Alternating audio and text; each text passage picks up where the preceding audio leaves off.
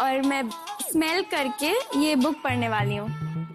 सूंघ करके आप किताब पढ़ेंगे। हेलो फ्रेंड्स आज के वीडियो में हम आप सबको केबीसी के चिल्ड्रन स्पेशल वीक के एक और धमाकेदार एपिसोड के बारे में बताएँगे। तो वीडियो शुरू करने से पहले हमारे चैनल को सब्सक्राइब कर दीजिए और साथ ही साथ बेल आइकन को दबाकर ऑल नोटिफिकेशन ऑन कर दीजिए।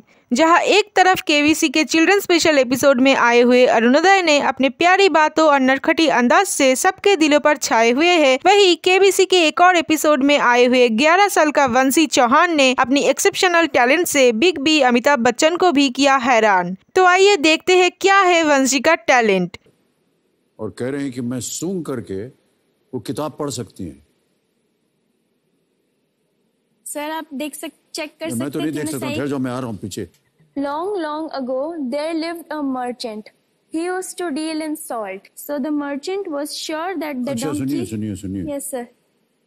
अच्छा एक ये तो हमने सुन लिया है हाँ। ये भी तो हो सकता है कि आप इसको रट के आई हो नहीं सर ये बुक आपकी टीम ने मुझे दी थी हाँ अ, तो ये मैंने देखी भी नहीं है कभी पहले अच्छा ये ये एक नया चैप्टर खोला है मैंने ठीक है ये पढ़िए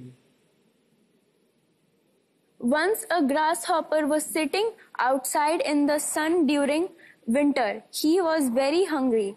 He had not eaten anything since last night. So he looked around to find something to eat. Suddenly he saw few ants carrying grains into their रुको रुको hole. रुको ये भी रट के आई होगी तुम पहले से पन्ना पलट रहे हैं लेकिन संजो मैं आपको बताना चाहता हूँ कि ये किताब जो थी ये हमारी टीम ने दी थी वंशी को।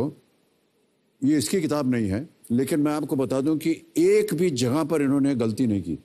जितने भी लाइंस थी बिल्कुल वैसे इसमें पढ़ के बताया तो सर मैं बिना देखे कलर भी बता सकती हूँ किसी चीज़ का। बस पकड़ के। अबे फिर बांधना पड़ेगा आपकी आँख को। ये क्या है? सर ये एक कप है। येलो कलर है। इसका कलर येलो है। तो ये थी हमारी आज की वीडियो। आप सबको 11 साल की छोटी सी बच्ची वंशी के बारे में क्या कहना है, हमें कमेंट करके ज़रूर बताना।